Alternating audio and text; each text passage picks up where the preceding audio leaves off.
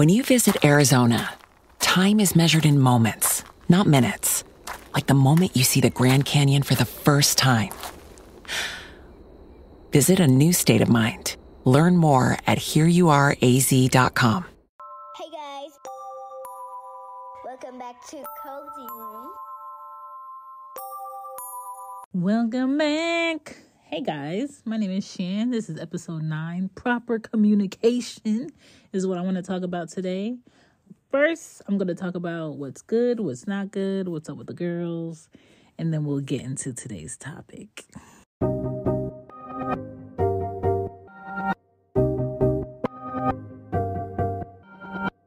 How you verbalize your feelings, that's probably how your child will verbalize their feelings. If you lack emotion and empathy for people, your kids will lack emotions and empathy for people when they need it. Your kids never see you cry and you wonder why they never show emotion and they're so angry and everything's such a big issue all the time because they're holding in their emotions because they think that's what they're supposed to do because they see you do it. And if your children admire you, they're going to copy you. They will probably grow to hide their tears because you hide your tears. So if you get to where you're going in life and it was a struggle for you, you're setting your child up for a struggle. If you get where I'm going with this, your good communication methods will show up in your kids. And if your communication is horrible, your children's communication will be the same way. And that's why I want to talk about proper communication for the betterment of our kids.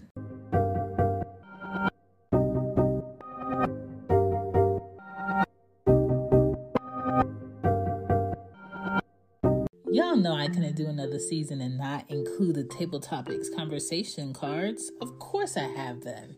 Of course, I have the best starter questions that there are. Okay. These cards are a fun way to get to know your friends and family or someone you're dating. Either way, you can get your own table topics cards on tabletopics.com.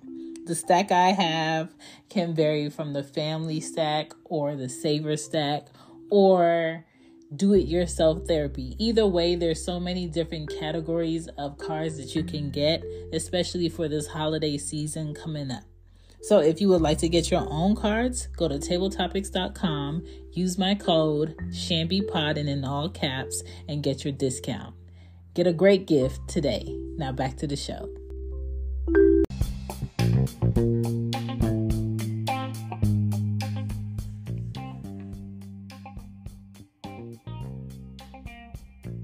If you're looking for hoodies, sweatshirts, long sleeves, stickers, or even coffee mugs, aka tea mugs, because I don't know why they don't give tea that credit, check out the Cozy Womb shop and support this podcast.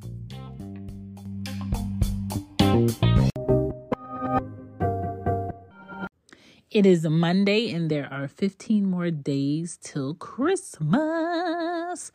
But what's good? Um, I'm alive. Anya is in the beta club. So proud of her. Ari got second place in the spelling bee.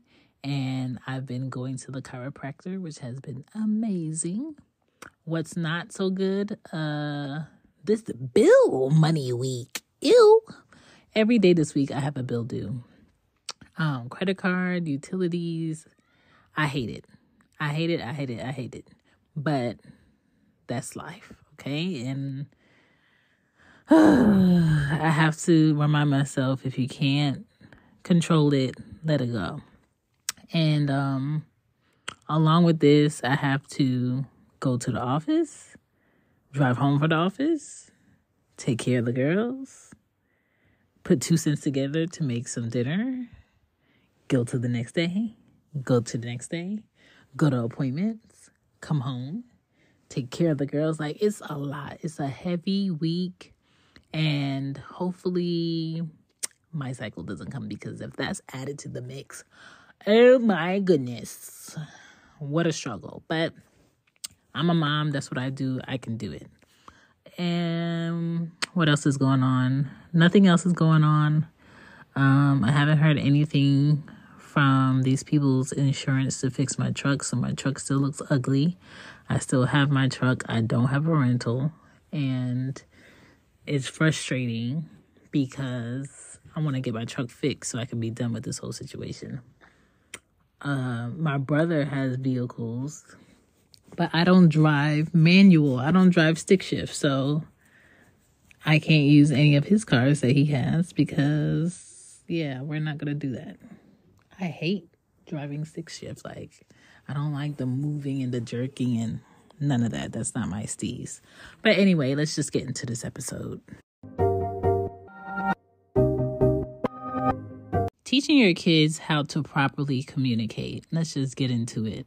Number one, in order to do it, you got to be a good listener, first and foremost. Number two, do not ignore people because if your child sees that you can ignore people, they're going to think they can choose who they can ignore also. Number three, your body language says a lot. So if you are showing your child body language like you don't care or you're annoyed, then they might display that to you when they don't care and they're annoyed. So if you don't show it, they don't know it. Okay. And if they learn it at school, you can tell them what's not acceptable at home with you. Number four, how would you feel if this happened to you? I think having that scenario discussion with your children before anything happens will better prepare them for different situations that you won't be around to help them through. Number five, stop crying so I can help. I think that's very important. A lot of kids cry and cry and cry, and they're hushed and never taught how to think through their problems so they can be helped. And so when you're dealing with 24 kids in a classroom as a teacher or you're at a park or your child is lost, they spend so much time crying and hyperventilating that no one's able to get through to them to understand what's going on or what they need. So teach your child to not cry so much and learn how to ask for help and give the proper information so they can be helped. Number six, write down how you feel. Teach your child that it's okay to write down how they feel. Um, Personally, I let my children write down how they feel, free thought. I don't judge what they write and I don't um, violate their privacy and what they write unless they want to show it to me. Number seven, teach your child how to calm down and then speak. Because when a lot of kids try to speak when they're angry or frustrated or upset, you can't understand them or they say things that they don't really mean and they don't understand. Number eight, teach your child that hitting to get your point across won't help. It just makes the situation harder and more difficult to figure out who was wrong in the mix because if they hit you and you hit them back, y'all both wrong. But if they hit you and you didn't touch them or say anything to them to you know egg that on, then it's a clear indication who's wrong in this, right? Number nine, controlling your emotions, talking to yourself, counting backwards, breathing, stepping outside the classroom, walking away, um, going to speak to a teacher, getting some water, getting some tissue, calming down, um, whatever is acceptable for your child to do in order to calm down and have them control their emotions, allow them to do that. I think a lot of adults don't even know how to control their emotions or calm down, and that's a super problem. Number 10, tell your child that it is okay for them to cry, but it is hard for people to understand them at the same time. So if they need to cry, they can privately ask to be excused to go do so and come back and explain what was going on.